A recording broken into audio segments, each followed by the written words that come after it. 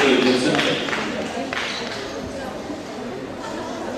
Окончательная оценка Панкова 7 и 825 тысяч баллов. Первая примерная оценки показатель.